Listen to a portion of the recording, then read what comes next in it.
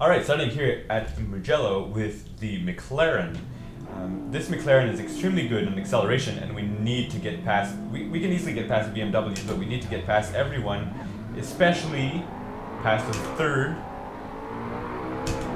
Oh dear.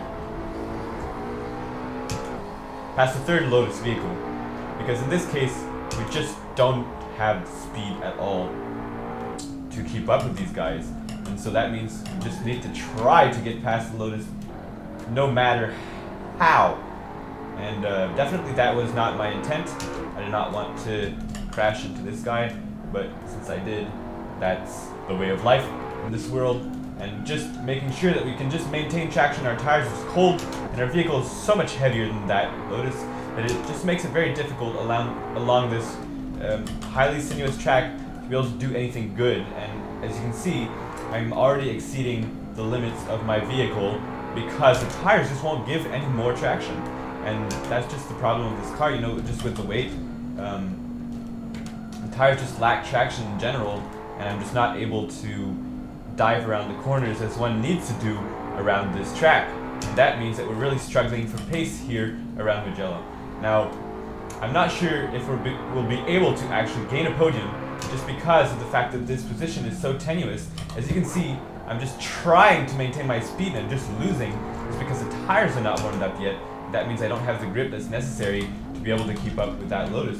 So I need to kind of like point and shoot, and there I completely lost my momentum for whatever reason. I don't know what I was thinking, but I have not maintained my momentum at all. You can just see my car sliding all over the track. It's not able to maintain traction just because we don't have any aero, or very little to speak of as we turn around in the corners and that means that we're just not able to punch through as quickly as we need to be able to. So we're going to try to make the tride as wide as possible and as quick as possible by cutting the corners as much as possible, but I don't know how much is possible to keep up with this Lotus. Now we do have an advantage and the advantage is on the straight that comes right up ahead. But unfortunately, that straight is preceded by a very long curve that is extremely difficult for our McLaren to negotiate just because of the weight of this car. So we're just trying to get around the curve as much as we can so that we can punch through and accelerate at the end of the curve and be able to maintain traction on the straight. Now you can see that already the vehicle ahead of us is just so much further just because of the fact that they're able to negotiate the turns. And this is this time that's hard to to recuperate.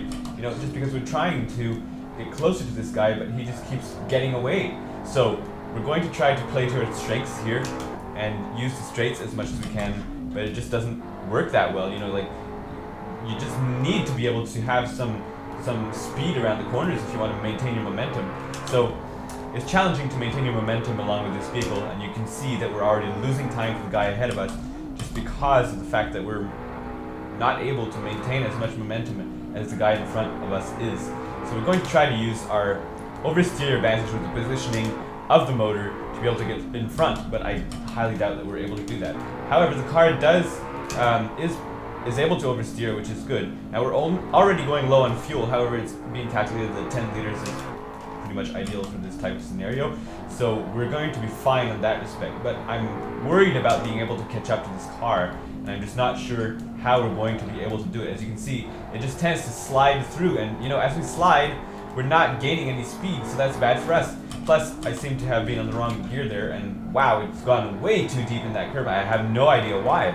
Like, it's, it's just so difficult to maintain traction that we're just spinning all over the place and not able to get ahead. You know, and at least the good thing is that here in this situation, we are about just about maintaining our position with this guy, and we should be able to get a little closer as we're able to gain some speed through the corners. But this is, you know, just such a difficult thing, and I'm even cheating to be able to try to maintain and not fall into the sandpit just because it's so difficult to get speed in this car. You just cannot maintain any momentum compared to the Lotus, which is so much lighter.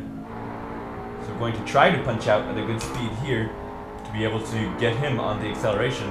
But already we've lost half the battle by going around that long, wide, sweeping turn. We are just losing time. We're just bleeding time.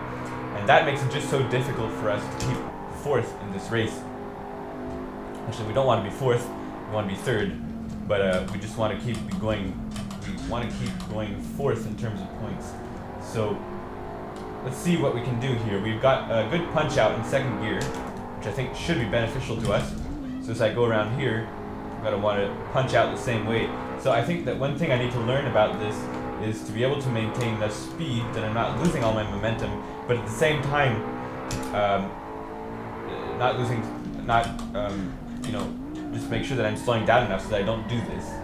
Because I'm, if I'm always on a power slide, I'm just losing so much time. And the guy in front is just able, and I'm just losing my tires in the process. This doesn't help us at all. We've lost just so much time just because of that single power slide. It's just crazy to think about it. We're just not able to keep up with this car. It's just so much better, and you know this car just won't turn. Just that's the story of the whole thing. So I think that all these laps are just enough to prove that we're able to stay behind this vehicle, no problem, but we're just not able to get ahead or change our position. And in this respect, that means that we don't have enough to be able to make any gains in terms of positions on the podium. So at this point, I'm just going to try to maintain our lead. Though I gotta say about this car, it's nice that it's able to drive rel relatively easily, but I'm, I'm struggling to keep it on track just because its weight uh, and uh, general maneuverability is just lacking. You know, and it, as you can hear, the, the, tires are just screeching all the time, and because of that, it's it's hard to know when I can stop, when I can start going a little bit faster or not, just because the tires won't give me any acceleration. Going to the absolute limit of what's available here at the moment. I'm gonna brake a little bit early, I guess, but we're just gonna try to, oh dear, to maintain the traction as long as we can, and. Uh, go as quickly as we can on exit. So we probably could gain a couple of kilometers out on the exit here, and uh, probably out on the other uh, turn as well. But this is just, you know, the odds are just stacked against us. I feel like on this track, we're just not not going to excel against the Lotus just because of the difference in weight. So this is our opportunity here to get a little bit closer to the Lotus. I feel like if we drove perfectly, we might be able to gain some advantage, but obviously we're not driving quite to the degree required to be able to do so well on this track. So we would need to continue to learn this track, and just you can see just by uh, the couple of turns that we had ahead of us, he's just able to gain by the fact that he's able to turn in so much more quickly, whereas our car just refuses us to be able to do anything. So I think I can maintain speed, and then surprise, surprise, the car goes and swats out so, unfortunately, the tires are not giving us anything to play with today. And uh, I think that our tires are, are dead at the moment, and it's probably why our traction is suffering, and we won't be able to make any more gains. But let's see if we can hold our position. We don't seem to have anyone fighting for our position near behind us, so that means we're at a good place where we can just kind of cruise to the finish line, uh, gain some points for this championship, and, and better luck next time, because that means that we can probably get to a track that is going to play to our strengths, have longer straights, and um, just be able to beat some vehicles instead of being behind them, which is kind of a difficult business right now. At least we're fourth out of nine, but you know, all this fourth place, all we've done to gain it is a first lap wonder, and actually a first stretch wonder, because the fact that we were not able to get past this Lotus afterwards, uh, in the first few seconds of the race, then afterwards it's just a, a lost cause. We just can't make it. I suppose that McLaren is trying to sell us vehicles here by uh, giving this series, but in fact it's not really working. It doesn't seem to be uh, helping their sales at all at this point because we are not able to lap anybody. But I suppose it's normal in a series. There are some strong cars for certain things. Oh, as we just exceed the limits and try to push it past what it's capable of taking, we almost break traction completely and will go through the final lap in fourth position.